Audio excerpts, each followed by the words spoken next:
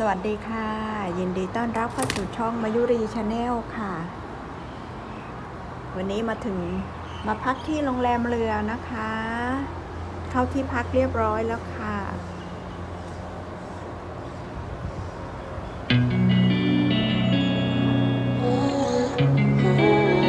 บรรยากาศดีมาก